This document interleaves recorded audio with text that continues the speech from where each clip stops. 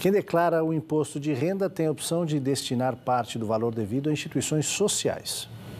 Do valor total de imposto de renda a ser pago à Receita Federal, 6% podem ser doados para instituições de caridade. A Regina vai explicar para a gente como é que isso é feito legalmente. Legalmente, isso pode ser feito de duas formas. Se a gente estiver falando quem vai declarar agora, dentro da declaração do imposto de renda, ao terminar a declaração, o contribuinte irá verificar o que ele tem a pagar e ele pode destinar é, até 6%, ou para o fundo do idoso ou para o fundo da criança e do adolescente. Se ele quiser também, ele pode dividir, dando 3% para o fundo do idoso e 3% para o fundo do, da criança e do adolescente. Uma outra forma é quem de, faz a doação antecipadamente ou seja, no ano que antecede a declaração.